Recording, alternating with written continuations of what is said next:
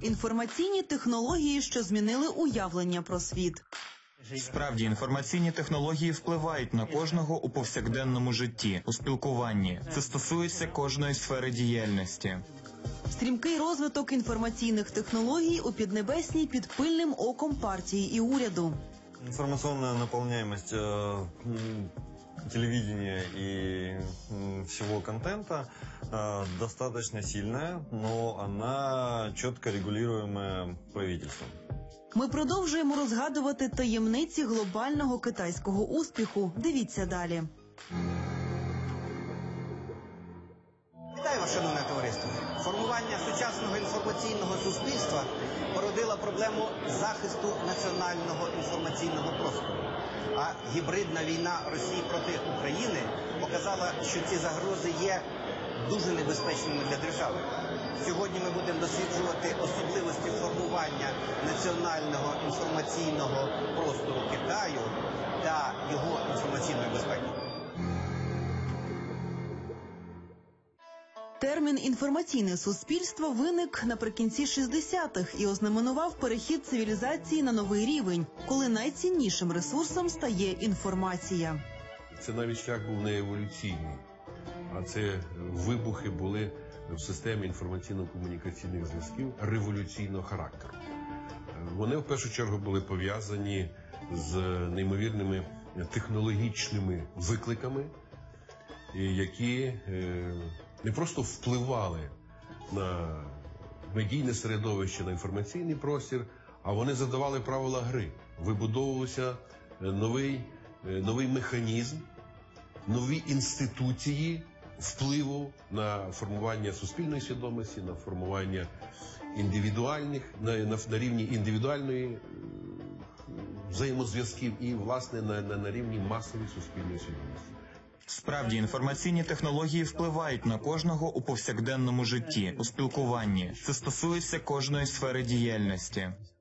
Американський соціолог 20-х років Деніел Белл назвав головні риси інформаційного суспільства, де інформація головний ресурс, а в економіці домінує інформаційний сектор. Використання інформаційних технологій економить час, а інформація, знання та кваліфікація стають головними факторами влади і управління. В нашій державі багато робиться для розвитку інформаційного суспільства. Наприклад, вдосконалюється сигнал для мобільного зв'язку 2G, 3G, 4G в процесі наукової розробки 5G. В нашій провінції ми досліджуємо проблеми розвитку телебачення. В інтернеті уряд формулює свої правила, так що люди не так вільно можуть отримувати інформацію. Проте ми намагаємось, щоб і в сільській місцевості, і в місті люди мали доступ до інформації. Незважаючи на успіхи КНР в розбудові інформаційного суспільства, є в Китаї і певні проблеми. Я думаю, що в Китаї інформаційне суспільство є досить закритим, і тому китайці, коли виїздять за кордон, не можуть повністю використати свої знання тому, що все контролюється урядом Китаю достатньо жорстко. Китай вже пройшов період екстенсивного розвитку і в умовах глобалізації нарощує промислове виробництво та використовує нові технології. Це і є запорукою успішного розвитку сучасного Китаю. Китайці активно використовують вільні економічні зони та технопарки для втілення найсучасніших інноваційних проєктів. Технопарк у місті Сіань це яскравий приклад успішного залучення зарубіжних інвестицій для впровадження сучасних інформаційних технологій. У роботі технопарку міста Сіань беруть участь такі відомі зарубіжні корпорації, як Samsung із Кореї, IBM з США, NTT з Японії. Наприклад, компанія Samsung у нас виготовляє плату для смартфона. Це найбільший інвестиційний проект не тільки у Сіані, але й у всьому західному регіоні Китаю. Ця продукція користується великим попитом у багатьох світових корпорацій. Продукція відомої фірми Джонсонс також виготовляється у нас. З розвитком цифрових інформаційних технологій спростився доступ до інформації, що суттєво позначилося на роботі ЗМІ. Інформатизація має помітний вплив на китайське суспільство. Кожен має в руках мобільний телефон і дізнається про новини в інтернеті. Це справило серйозний вплив на телебачення. Ось раніше тут була просто телевізійна студія, а нині це віртуальна телестудія з використанням сучасних технологій та комп'ютеризацією усіх процесів. Китайські медіагрупи в провінціях, контрольовані парткомами КПК та місцевими урядами, випускають мас-медіа, орієнтовані на різні цільові аудиторії. Специфіка китайських змі зумовлена двозначною позицією уряду по відношенню до преси. З одного боку, держава підтримує медіаекономіку, з іншого боку, здійснює доволі жорсткий контроль над інформаційним змістом. Серйозний вплив на змі справляла позиція керівництва КНР, яка полягає в тому, що мас-медіа в першу чергу повинні захищати державні інтереси, працювати на розбудову, єдність і злагоду, на покращення соціально-економічної ситуації в країні. Серед видань Шенсі Медіа Груп найбільшою є денна газета з накладом 210 тисяч примірників і є офіційним органом парткому і уряду провінції Шенсі. Є також міська газета. Її наклад поки що становить 120 тисяч примірників. Є спеціальна газета для жінок. Її наклад 20 тисяч. Ще одна газета для читачів із сільських районів. Наклад 80 тисяч. Також ми випускаємо два журнали. Один з них є збіркою цікавих статей з накладом 50 тисяч примірників. Другий журнал присвячений науковим дослідженням. Його наклад становить 23 тисячі примірників. Информационная наполняемость э, м, телевидения и всего контента э, достаточно сильная, но она четко регулируемая правительством. Вот это что касается контента и информации, которая дается. То есть она очень ограниченная. Вот. Но тем не менее, она в полном объеме и, как видно по людям, они не испытывают недостаток информации. Газета Ганьсу в одноіменній провінції КНР виходить накладом 200 тисяч примірників. Вона також має свій сайт. На сайті у нас читачів набагато більше. На сайті газети розміщуються відео та аудіоматеріали, друковані тексти. Також ми використовуємо соціальні мережі.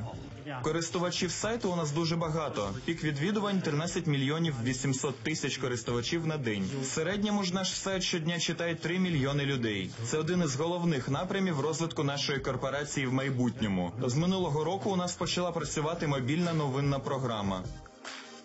Китайці найактивніші користувачі мобільного інтернету. Вони займають перше місце у світі за мобільними платежами. Покупки в магазинах, сплата комунальних послуг та проїзду по автобану все це здійснюється парою кліків на смартфоні. QR-код сканується на касі і зберігає копію цифрової квитанції про оплату. Серед соціальних мереж у нас найбільше розвинена мережа QQ.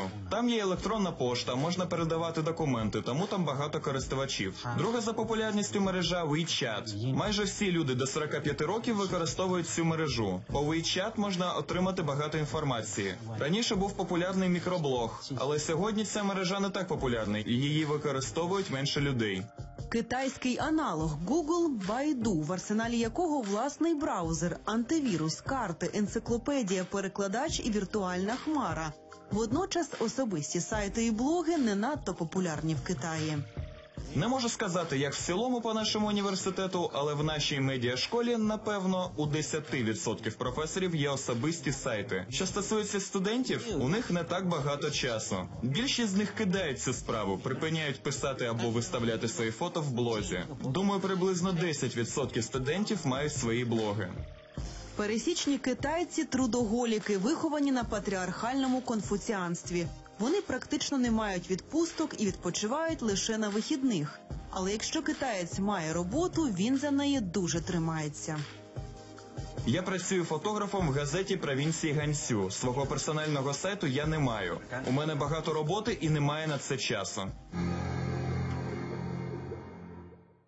Інформаційне суспільство Китаю формується на основі традиційної китайської культури та сучасних інформаційно-комунікаційних технологій. Китайці активно вивчають зарубіжний досвід та вибудовують власну стратегію просування національного бренду в глобальному інформаційному суспільстві. Китай щорічно виділяє понад 6,5 мільярдів доларів на іншомовні змі, орієнтовані на пропаганду китайської культури. З цією ж метою Китай, хоч і обережно, відкриває свої соціальні мережі для іноземців. ихнем ресурсе э, соцсети я до сих пор зарегистрирован и продолжаю с ними общаться. В принципе, все удобно, все работает, неважно, где бы я находился, каким бы интернетом не пользовался, все работает, и у нас связь постоянная. Прибывая в Китай, я не приобретал местный, локальный э, карточку оператора, вот, соответственно, пользовался исключительно украинскими. И, в общем-то, этого достаточно. Особливі успіхи інформаційних технологій на сході вчені пов'язують з іерогліфічним письмом. Воно має переваги перед латиницею, економить час в програмуванні, краще сприймається людським мозком, а розуміння таких символів має міжкультурний характер. За інформаційним Китаєм закріпилась слава світової школи хакерів. Міністерство державної безпеки КНР створило у своєму підпорядкуванні спеціальні структури інформаційної безпеки в мережі інтернет. Їх завдання випереджати атаки на державні інтернет-ресурси, ввести інтернет-розвідку і проводити активні заходи в мережах ворога. Аналітики відзначають, що китайські хакери відрізняються від європейських тим, що ставлять суспільні інтереси над індивідуальними, мають пріоритет етичних відносин над економічною вигодою і спрямовані на досягнення суспільного консенсусу. І все це є свідченням того, що модель розбудови інформаційного суспільства в Китаї виходить із власних культурно-національних джерел та критеріїв соціального прогресу.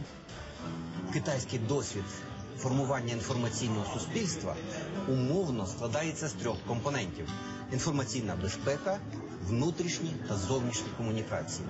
І це створює об'єктивні умови для забезпечення глобального лідерства від небес.